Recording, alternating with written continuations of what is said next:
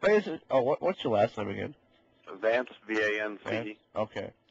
Ladies and gentlemen, uh, uh, welcome to the fourth episode of my Best of the Franky Slawson Show.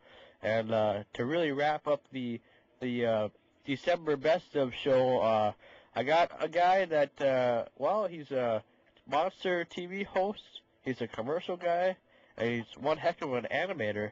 Craig Vance, welcome to the show. No, thank you very much.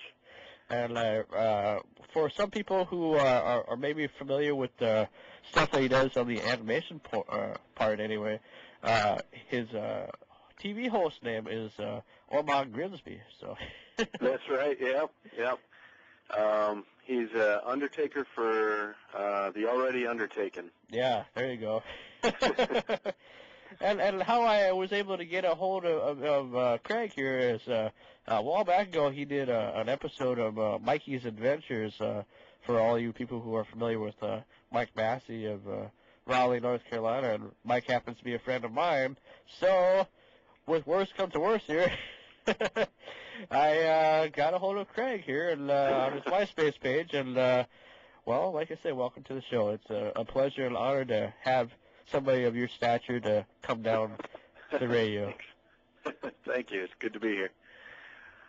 So now, uh, tell tell some of the, the uh, listeners, though, what is it that you actually do? Uh, just whether it's your TV host stuff or your commercials. We'll talk about a little bit of everything that you do, but uh, give people kind of a background of what, what your job is. Or Well, um, the the TV thing um, is a uh, like you mentioned a horror host show uh, that's a throwback to the 50s and 60s, uh, where we show an old uh, B horror movie every week, and then it's hosted by um, uh, a ghoulish host.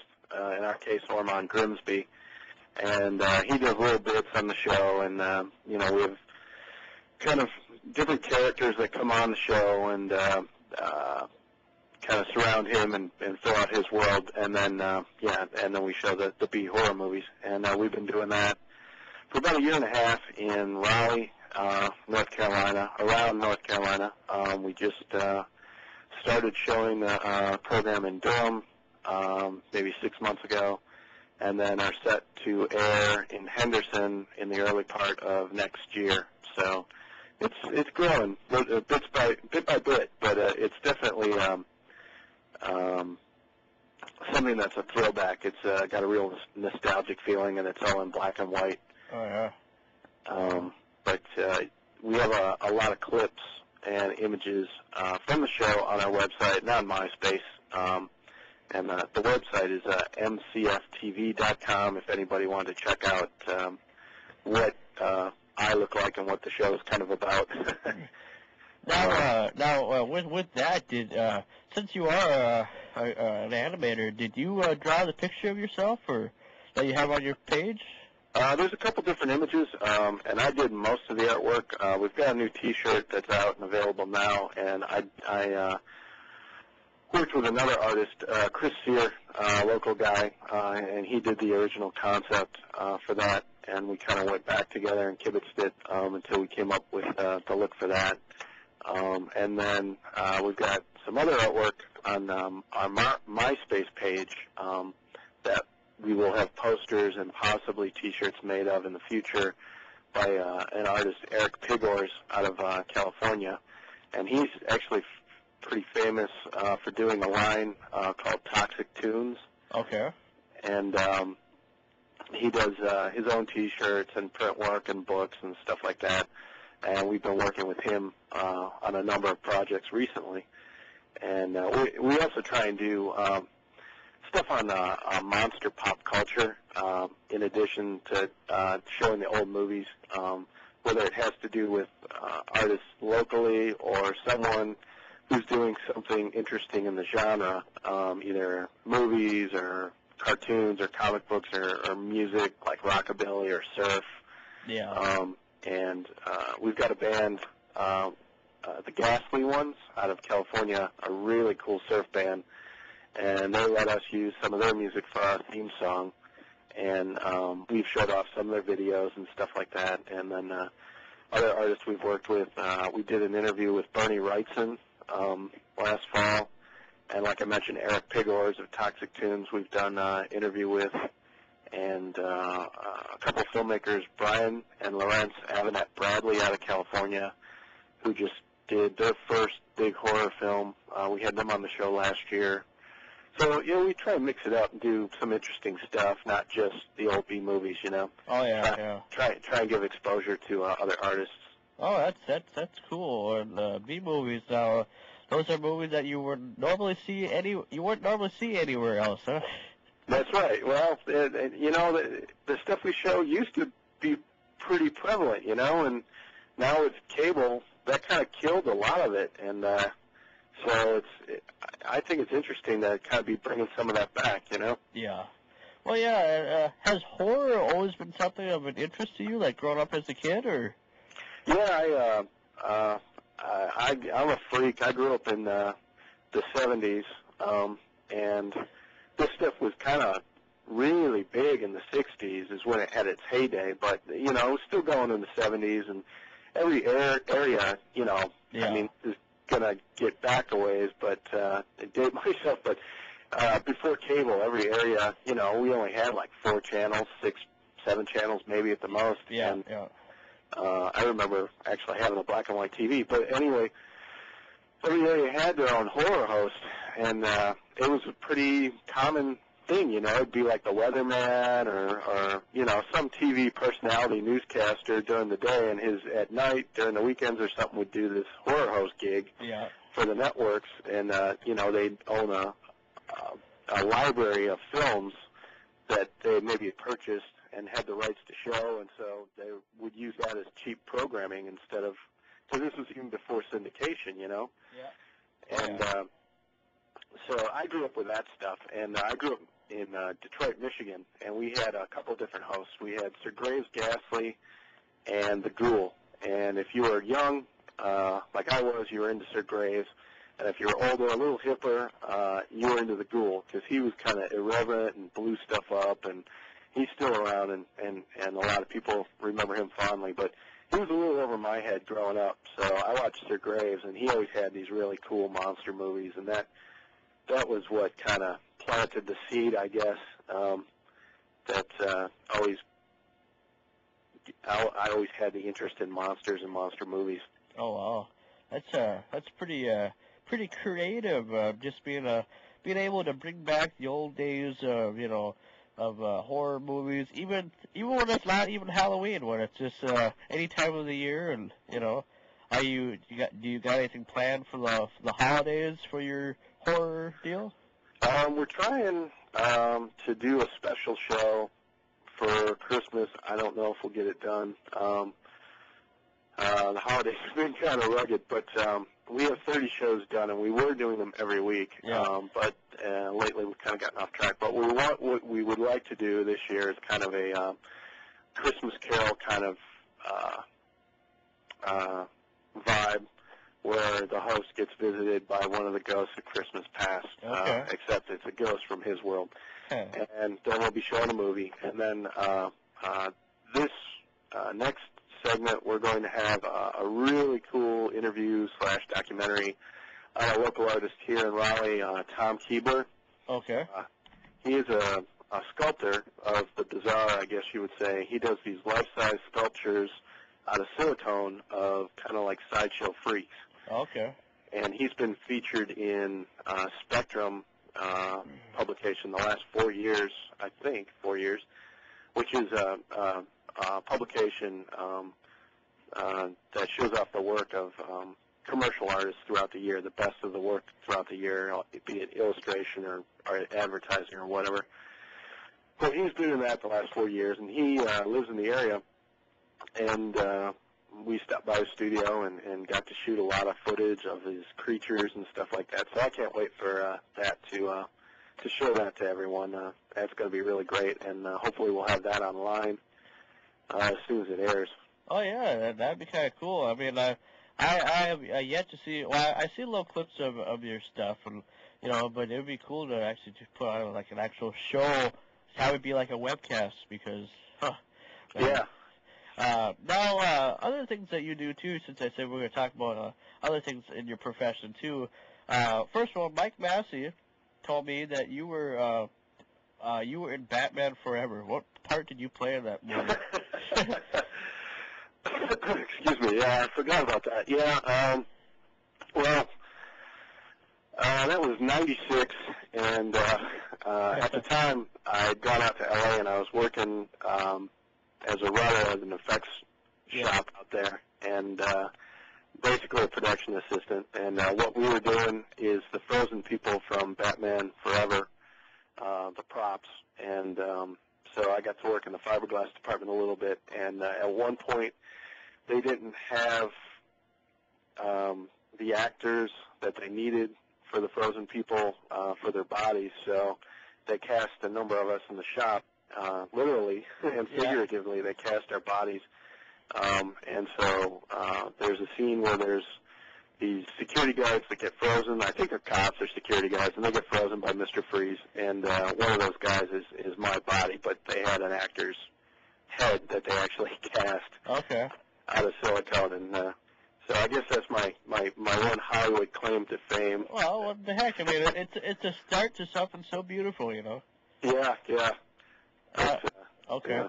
Now, uh, with that too, uh, Craig here, for those of people who are familiar with TV commercials and, and advertising, and even though, even probably a lot to get sick of seeing commercials, because, you know, there's a lot of people around that say, God, these freaking commercials, they keep playing, you know, and whatever. This guy is kind of responsible for some of those commercials that you see. Uh, the Chester McCheese, uh, I think that's right, Chester's Cheeto, the Cheetos commercial, Yeah, yeah, yeah. the Gillette uh, razors, and what all? What do you all do? You do? You're the animator for that.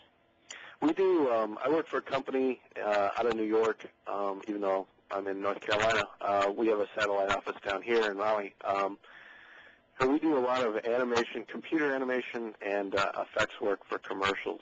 And uh, yeah, some of the uh, the um, uh, commercials that we've worked on have been Chester Cheetos and uh, some Visa stuff. Um, a lot of the GE commercials where you see dancing animals. Uh, there's one with the dancing elephant that we uh, uh, our company worked on, and then um, uh, let's see, a lot of stuff like that. A lot of um, kind of invisible effects work, if you'd like, um, like water and fire and that sort of stuff. But we also do the character stuff. Um, uh, trying to think uh, some of the bigger ones. Uh, Dairy Queen, we've we've done some of those. Uh, the ones there was a spot last spring with um, uh, a couple monsters making monster cookies in the kitchen and uh, the heads had to be they they were full body foam monsters, foam latex, but the faces weren't articulate articulated enough, and so they wanted to go in and actually do lip sync and have the monsters talk. So we actually created replacement uh, CG heads that um, uh, went over on top of the um, the practical heads and uh, had them talk to each other. Okay. Um, and we did some stuff with another Dairy Queen commercial with a Fabio type model.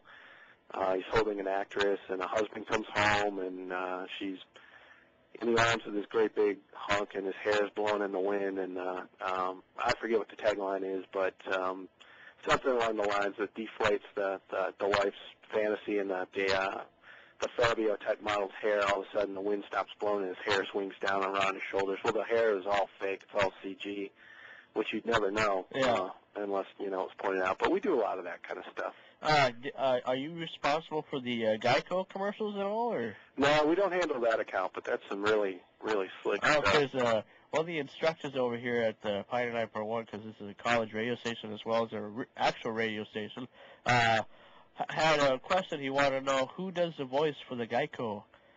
Geico. Yeah, Gecko. I, I, yeah, I don't know. Um, I couldn't say. But uh, anyway, uh, yeah, uh, and uh, you've uh, handled some big accounts. And uh, what are your, some of your favorite commercials that you've done? I like that uh, that Dairy Queen one. That's pretty good. Because it has to do with monsters, right?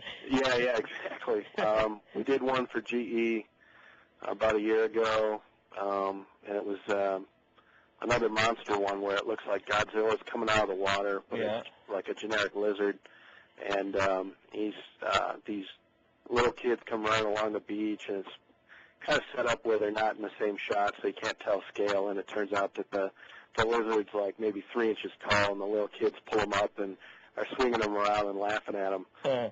And we did some stuff where we augmented the costume and added like a, a frill collar and a um, like a spiny um, uh, headpiece that was all CG, and, yeah.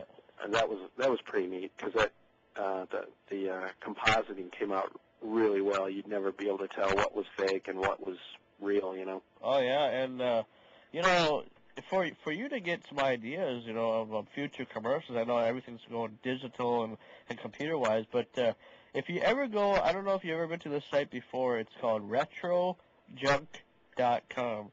Hmm, sounds familiar. I, I think I might have come across it. Uh, it's a site where you can watch old commercials, old TV show intros, old movie trailers from the 70s, 80s, and 90s. And, and that's kind of what I do on my show. Once in a while, I'll play a classic uh, commercial or whatever that's uh, no no longer in use, you know.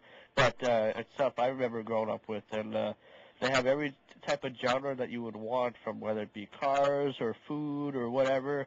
You may have to check that out again, and just uh, maybe it might help you in a, in a future idea or something like that. Yeah, yeah, I'll definitely have to check it out. There's a lot of content. Um, we we work mostly with public domain content on a monster creature feature on the show I produce, Yeah.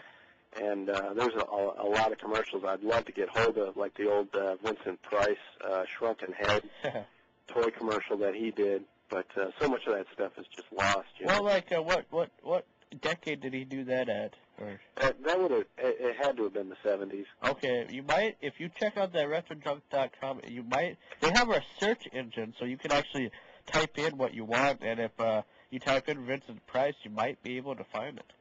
Okay, cool. I'll give that a shot. That sounds neat. Thanks. Yeah, well, any way to help. I mean, you're you're helping me, so what the hell? I'll help you too. uh, now, uh, with uh, everything else that you do uh, on your uh, monster creature feature, ha- has uh, like uh, have you ever had like any big time special guests at all, like old uh, uh, monster actors at all, or anybody that you looked up to? Um, most, not too many actors. Mostly, it's just artists that um, I've kind of searched out. And uh, the the cool thing is that um, most of the people that um, I've kind of reached out to um, to show the show to, and maybe do some you know cross promotion with, have been really receptive. They love the idea. Oh yeah. Um, uh, Dave Hartman is another uh, artist that we've showed a couple of his films, and he's a or was a Disney animator. Now I think he, he's pretty much freelance, but um, he does his own stuff on the side and illustration, and he did a lot of. Um, he works with Rob Zombie a lot, and uh, excuse me, he uh, did all the illustration inside. I think uh, the last Rob Zombie CD, and uh, he just did a video with him. But uh, we showed a couple of his uh, live action films that he has done, and they're a lot of fun. Um, so I, I really enjoy working with other creative people, you know, trying to do Oh, their yeah. own thing. Oh, definitely. Uh, now, uh, I went to the retrojunk.com real quick. Uh, I typed in Vincent Price. They have a an old game called Hangman that he was he did the commercial for. So it's, Oh yeah, yeah. I Yeah. remember that one. yeah, it's uh, right on there. So uh, now, uh, w- when growing up as a kid, uh, did you have any other interests or hobbies? Um, what I really wanted to do was get into um, uh, special effects and uh, makeup special effects, that sort of thing, and um, sculpting and stuff like that. And I did that. Um, you know, growing up, uh, you're 10, 11, 12 years old. You know, before video games and Oh yeah. all of that. It, you know, kids were, you know, getting their hands in mud and drawing and sculpting and doing all kinds of stuff in their basements. And I sculpted, you know, took a lot of sculpting courses and went to art college and all that, and uh, really wanted to get into that. But um, uh, it, the scene, you know, in the '80s seemed like it was the real heyday for monster movies and you know, American Werewolf and The Fog and Howling and The Thing and all those really pushed the boundaries of what makeup effects could do. And then you had all the films that kind of imitated those in the, the mid 80s and then kind of got more into the slasher stuff later. Uh, Oh yeah. um, but uh, seemed like the bottom of that all kind of fell out in the early 90s and, you know, I hate to say it, in the advent of uh, CG, everything kind of went and w- was going that way. Um, it seems things have balanced out much more in the industry where the two um, technologies are really augmenting each other, and you know that people are learning that you know not one or the other isn't going to be the uh, end all be all. But uh, uh, back in the early '90s, when I was trying to find a job, and it, Yeah. was, it was really difficult, um, so I I kind of went back to school and uh, honed my skills and got into the, the CG end of it, um, which was booming at the time. Oh yeah. Um, but uh, I mean, ultimately, um, what I really like to do is tell stories, um, and uh, I I really would like to direct uh, specifically horror films. I mean, I don't have any aspirations beyond that. Oh yeah. A lot of people just want to direct and tell stories, but I love horror, and uh, I would like to uh, uh, take the next leap and, and uh, do some shorts and a film. Well, you know that Rob Zombie is going to, I think, be directing the ha- Halloween 9 movie, I believe. Yeah, yeah, I read that. Um, Who knows? Maybe, maybe you might have an opportunity. Yeah, yeah. I mean, uh, I, I look at um, the uh, monster creature feature as kind of a stepping stone Oh, yeah. uh, to the next thing, you know, and it's it's it's a lot of fun. Well, And, you, uh, well, well, you know, people are going to look at that and, and, say, you know, this this kid's got something. You know, I mean, they, you know, you have a passion for what you do. Uh, you know, a lot of people have forgotten stuff like that, and you know, when you bring back to the past, and it's like, oh, geez, you know, this is actually pretty cool. Yeah, I think a lot of people are really hungry. Yeah, for, um, obviously you're going to get noticed somehow, some way from doing that. Yeah, yeah. I hope, and uh, people, you know, are are responding really favorably. I mean, because they get it, they know what it's supposed to be. It's supposed to be silly. It's supposed to be cheesy. It's not supposed to be something that's really slick, you know. Yeah. It is bad, you know, but it's supposed to be bad. It's supposed to be funny. Um, and uh, you know, the people who get it really like it, you know, and the people the people I find that didn't grow up with it and don't understand what it's about don't get it. But you know, that's fine. It's not Yeah. for everyone. But uh, I find that um, I, I really thought when I started doing it that like college, the college audience would be much bigger than it is. And what it turns out is that, and I don't know why I'm surprised, but the audience that really responds to it is uh, my age group and older. You know, obviously the people who grew up with it and um, kind of remember it from their childhood. You know Oh yeah. and those are the guys who are like, oh yeah, geez, I remember the guy I grew up with back in 1965. We had Ghoulardi or whatever, you know. But um, well, yeah, and and then uh, it's it's kind of too, you know, like uh, well, you you said you were raised in the '70s. Well, I, I was raised in the '80s, and I was born in 1983, so I'm only 23 years old. So yeah, horror, I don't know. For for me anyway, even though this interview is not really about much about me, but you know, for me, it's uh, you know, horror. I'm not really huge on horror. I'll be honest, but I, I I'm trying to get kind of into it. I don't like like the gross, gross horror. You know, like the like the See No Evil or the you know, you know Hostel or whatever, because I think they're I think they're repeating themselves too much. I, yeah. I agree. I, I like the more imaginative stuff, and Like the I like Freddy the and Jason stuff. stuff, you know, like the Freddy versus Jason. Yeah, I like the uh, the stuff, uh, the old Corman stuff from uh, the 50s and 60s, uh, Edgar Allan Poe stuff. Um, you know, uh, Mask of the Red Death, and you know, of course, the classics, Wolfman and Frankenstein and Yeah. Dracula and all that stuff. Um, How about like the uh, Exorcists and all that stuff? You like that? yeah, that's probably one of the the best horror films ever made. You know, that scared the, the living hell out of me when I was. I mean, I was too young to see that in the theater, but uh, that scared the, the heck out of me when I was, you know, 12, and I think I saw it for the first time on TV, and I was Oh, yeah. like, oh my god, what is this? Are you, are you the type of guy that gets into like the the high definition big screen TVs and the surround sound when you watch a horror film at all, or Well, I used to be. Now I, I got a kid, and uh, that kind of went to the wayside. I, uh, the the uh, the disposable income is no more. okay?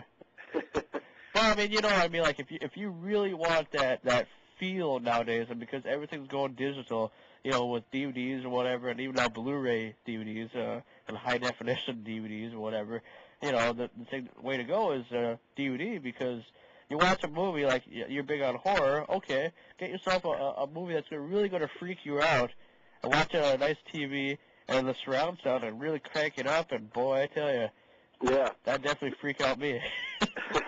well, I uh, personally, I mean, I I had an idea, and I thought, you know, it, it's so expensive to pr- produce a film, and and getting back to wanting to direct my own Yeah. film, and we shoot everything on uh, on digital video. Uh, we use uh, we shoot everything at 24p on a, a Panasonic DVX 100, so it's it's a little better quality than what you know you might be used to seeing on TV or, or especially public access. Um, yeah. But it gives us a really nice quality, and a lot of um, low-budget films are, are, are shooting digitally now because it's so expensive to process and transfer film. And then if you're not even shooting for theatrical release, you know, you're going direct to DVD. I mean, sure, there's inherent quality in shooting 35 that you're not going to get in any other medium. But I mean, if it's going right to DVD, why not shoot for that medium? And Yeah. to that end, I thought, you know, back in the early 80s, there were a lot of companies that that actually created films just for the, the videotape market, which was brand new back then. And now it seems that the DVD market is so huge. I mean, it's just gigantic that, you know, it seems like there's a niche there that you could shoot. You know, you could you could create a production company where you were shooting four or five films a year just to distribute on DVD and set up a business model that way, Oh yeah. and uh, just to get them in the shelves on Best Buy. But the the problem is is that uh, distribution is so tight that um, most of the companies, the WalMarts, the Best Buys, the Barnes and Nobles, will not look at you unless you're under you know a Time Warner umbrella. So that's kind of the rub. yeah. There are a, a number of, of independent guys like Charles Band, and he shot like a lot of those really crappy '80s movies like Doll Man and uh, was it Puppet Master? Okay. he did all those with the idea of, you know, he set up his own production type company where it was the same people and he worked with the same cast over and over and, you know, it was like a family and you just churn out these movies, you know, five, ten a year, direct to video and, uh, you know, you were able to self-perpetuate and make a small business out of it. But uh, apparently even he's hurting these days with the uh, stranglehold on uh, distribution. But I still think there's something there, you know, where you could set up you know, a, a, a niche and and cater to that market. I don't know. Maybe there's something with the internet. If there was some way Yeah. that you could recoup your money, if people, you know, were willing to to pay to watch something that way, you know. Oh, sure. And uh, well, I tell you what, we're almost out of time. But I, well, first of all, I'm not going to let you go yet. But uh, I to first of all thank you for uh, letting me interview you. I know. Uh, I hope I wasn't too much of a bother. You know. Oh, no, not at all. Thank you for uh, having me on the show. And uh, I know Mike, you know, told me that gotta kind of calm down when I'm trying to get a hold of you. I realize you're a busy guy, and you know, uh, you know, your time is very limited. But uh, uh, I want to thank you for having me or let me interview you. And the last thing I, I'm going to do, or that I normally do on the show, is have uh, have you, or you know, if you've heard my show in the past, uh, you you say who you are, who you're listening to, and what station you're listening to. Okay. And uh, Well, my name's okay. My name's Franky. You know, Franky Right. Slawson, and then uh, you're listening to Pioneer 90.1. So, okay. so whenever you're ready. All right. Hey there, this is Craig Vance from Monster Creature Feature, and you're listening to Franky on Pioneer 90.1. All right, and I appreciate it. And you have a good holiday. And uh, You too? and once this, I, I, what I do too is I always put my uh, internet uh, show or my shows not only on the uh, radio, but I also put them on my MySpace page. So once I get this update on my MySpace page, I'll send it uh, you a copy. Okay. Fantastic. All right, cool. Have a good day and have a happy holiday, man. You too. Thank you very much. All right, bye. All right, thank you, man. And uh, like I say, uh,